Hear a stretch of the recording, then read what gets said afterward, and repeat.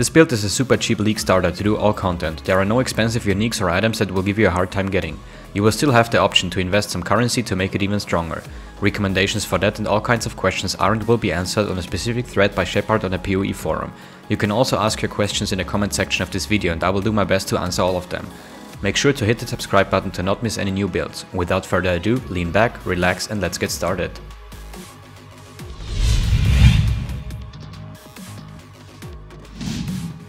This build guide contains build showcase, disclaimer, content overview, equipment, gems, jewels and abyss jewels, flasks, skill tree, ascendancy points, pantheon powers, bandit choice and some gameplay footage.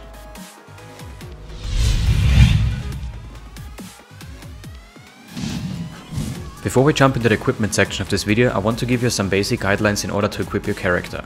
First, get the mandatory flasks and unique items. Second, get basic gear using mostly rare items. Overcap your elemental resistances to deal with elemental curses. Try to get a good life or mana roll on every item that can have one. Ideally, your mana should be around two thirds of your life. Get a spell dagger or unique that fits your budget. Third, once you can afford better gear, start replacing excess resistances for other things like damage, mobility or HP. You can also try out some optional uniques. We're going to use a rare helmet with life and mana, resistances and stats we might need. Optional, you could use one of the following. Rat's Nest and Devoto's Devotion increase your mobility at the cost of life and resistances. Starkonja's Head has a good life roll, but no resist and a bit less mobility. Indigon has a really high potential, but requires you to completely build around it. It is also very expensive, that's why I won't cover it for that reason. Try to get Dark Pact damage, Dark Pact cast speed or Lightning Golem buff enchant since they provide a decent power boost but are hard to get. If you choose to go with a rare item, go with a dagger that contains spell damage, attack speed, crit chance, cast speed and resistances if needed. I also recommend using two Apep's Rage in your weapon swap because they offer insane damage for their budget. Once disable your movement skills so you have to use Lightning Warp or Flame Dash instead. Shimmeron does more damage than Apep's if you're using power charges but also costs more. Dual Void Batteries are the best DPS weapons you can get, they cost even more than Shimmeron and deal about the same damage, but they also have mana and don't hurt you when you accidentally hit an enemy. Both of these ones require you to get instability and overcharge in the passive tree or they won't be good. Eclipse Solaris is an extreme budget option. Divinarius has a really good price and damage ratio but it lacks attack speed so it might feel slow. Brightbeak is the best option for mobility but provides no damage bonus. It's also a good option for early mapping because it gives quite some resistances. Try to get a nice spirit shield containing life, mana, spell damage, crit chance, cast speed and some resistances if needed. Optional you could use Troll Timber Spire to gain about 1.2k leech per second in exchange for damage, or Atziri's Reflection, currently extremely expensive, gives you 100% curse immunity so you don't need to use Kikazaru. In my eyes this has two advantages. First you can build to be more tanky but deal less damage, second you have more space for gear which means you can get a lot of magic find. Soul Mantle is one of our mandatory uniques. Level 20 spell totem, spell damage, tons of energy shield, increased totem life, one additional totem and inflicts a random level 20 curse when your totem dies. Any more questions? Fingerless silk gloves are the best glove base if you're not planning to get a corruption or an enchantment. They should contain life, mana, resistances and stats you might need. You can also get insanity crafted gloves to speed up your movement skill. Maligaro's Virtuosity and Voidbringer can increase your damage but offer little else. Kalisa's Grace offers a decent life roll and damage increase. The faster casting support can be helpful for some gem setups for example Flame Dash. Sadima's Touch for item quantity. Get your hands on a good pair of rare boots containing life, mana, movement speed and resistances. If you want to get into some magic find, use Goldwyrm for item quantity. Try to get an increased critical strike chance if you haven't crit recently or regenerate X percentage of life and mana per second if you were hit recently enchant. The best belt base right now is a Stygian Vice, otherwise get a leather belt. Look for life and resistances to optimize your defense. A rare amulet is the most versatile option here. Look for life, mana, crit multiplier, cast speed and resistances. Weaker options are spell damage and crit chance. Blood grip is a good way to get more life recovery as it doubles the healing from flasks. Viscous color for item quantity. Two Kikazarus are our second mandatory uniques. They provide a ton of lightning resistances, all attributes, mana regeneration rate, reduced effect of curses on us, and 1 life regenerated per second per level.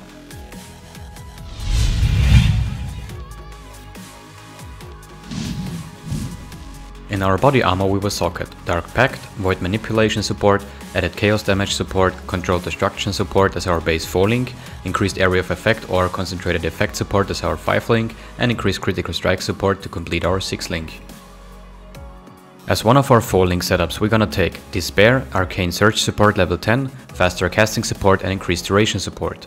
Despair makes our enemies take more damage and also buffs us with Arcane Surge. Arcane Surge is on level 10 to proc after every cast. Tier 16 plus bosses are very resistant to curses, so this setup's purpose is mostly to act as a quick trigger for Arcane Surge and the damage boost while mapping.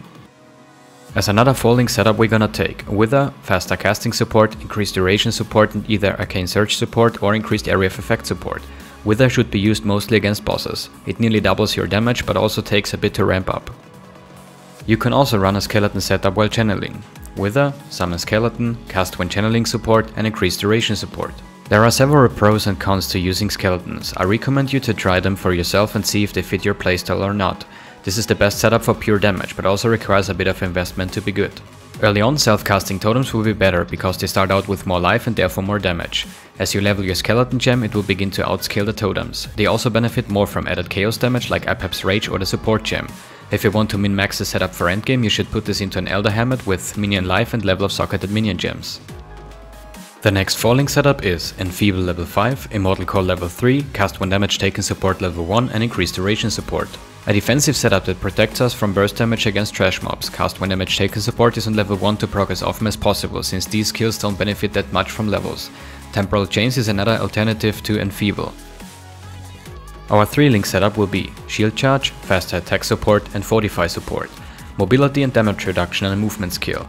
Shield Charge scales with both attack speed and movement speed, you can also use Whirling Blades if you prefer it.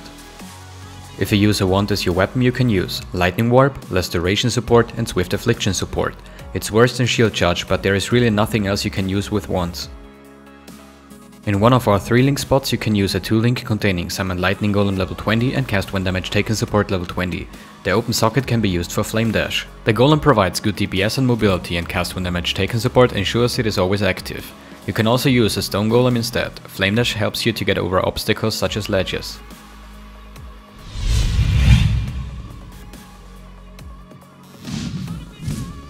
We have two mandatory unique jewels, Self-Flagellation to obtain increased damage per curse on us and we can have one additional curse.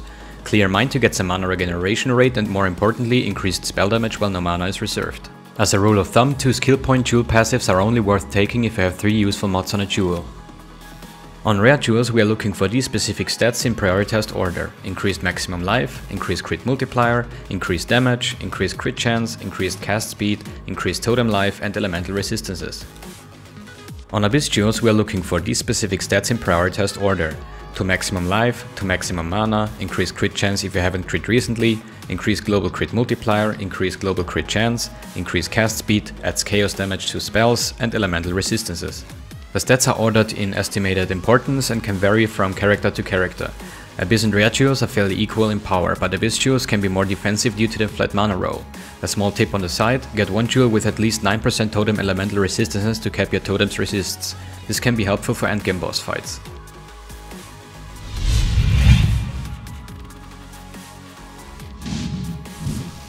Our mandatory flasks are an instant life flask to save your life, a diamond flask for DPS and a quicksilver flask to go fast. The other two flask spots are based on personal preference. A second longer healing life flask can be helpful with survival. A silver flask grants the second highest damage boost and will also speed you up. A basalt flask is on average than Rumi's concoction but is more reliable. Recommended mods for magic flasks are of staunching to remove bleed and of heat to deal with freeze and chill immunity. And do yourself a favor and do not get a warding flask, they will remove your curses which means you lose damage from self-flagellation. Rumi's concoction will grant enough armor to deal with smaller attacks and boost your block to around 50%. Lavianga's spirit enables you to do no regen maps, and the Witchfire brew can apply a despair curse aura to increase your damage.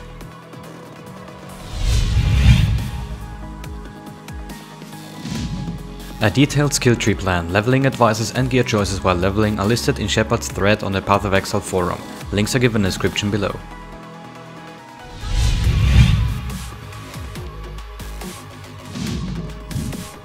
As our Ascendancy points we're gonna take Pursuit of Faith, Ritual of Awakening, Divine Guidance, and for Eternal Labyrinth we actually got 3 choices. Sanctuary of Thought will give you about 1.5k energy shield and more mana. This is the best defensive node by far. Recommended Conviction of Power offers a mix between offense and defense and is also required if you want to use power charges. Illuminated Devotion adds decent damage and minor totem survivability through Leech. The extra area of effect makes it the best for clear speed.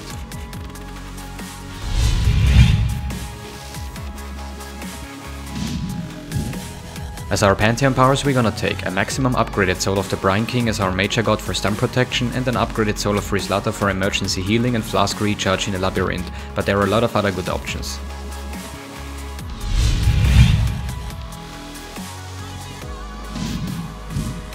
We're gonna choose the Bandit Lord Alira for mana regeneration, global critical strike multiplier and all elemental resistances.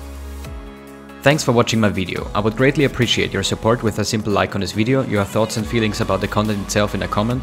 On top of that, subscribe to my YouTube channel if you want to see more videos from me in the future. It is totally free, so become a part of our great community. A big thanks to Shepard for creating the guide and providing me with the footage for our project. If you want to see more gameplay footage of this build, check out his channel. Take care and have a great day.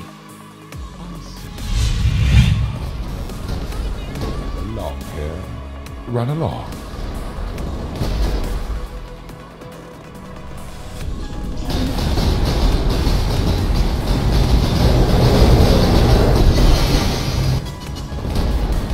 Back, trespasser. Cease this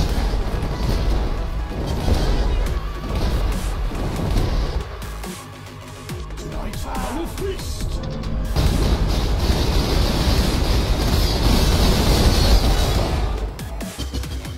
You tamper with things you do not understand.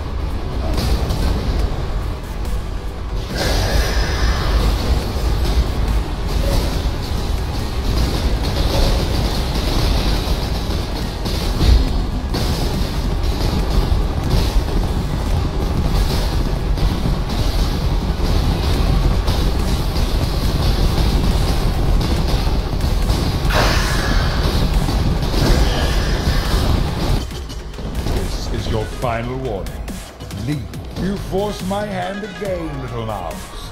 So be it. You've chosen to side with chaos. This is my world, and you shall obey my order.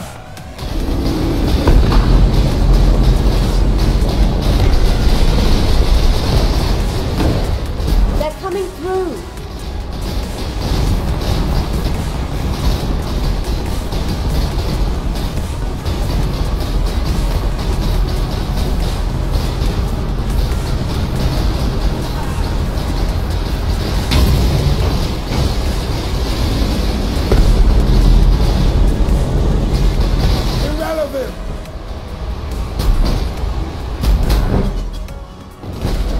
Recovering. We need to find a way back quickly.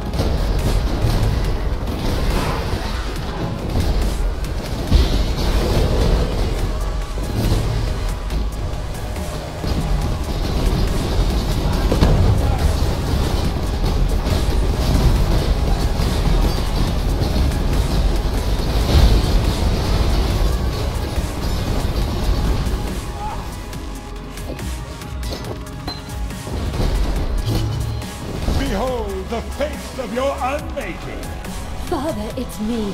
Let me help you. The horror must be stopped. Obstacles destroyed. Out Come the to chaos.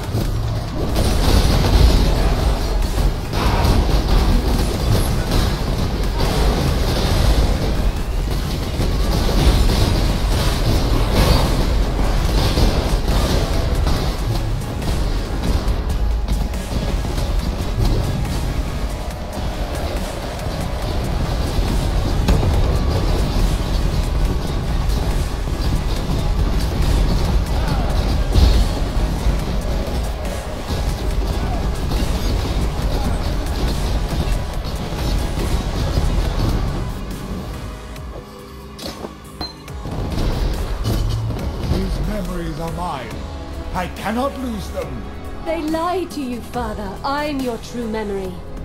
To save the future, the past must be sacrificed. Gaze into the abyss. They're coming through.